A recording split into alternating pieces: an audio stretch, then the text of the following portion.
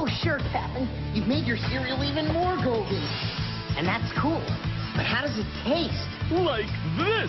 Whoa! It's got a ton of that sweet, Cap'n crunchy taste. It's gold delicious. Cap'n Crunch cereal has a new great taste and more golden color. It's Gold delicious. Cap'n Crunch cereal is the delicious part of this balanced breakfast. Let's review. My cereal has a new great taste and golden color. It's Gold delicious.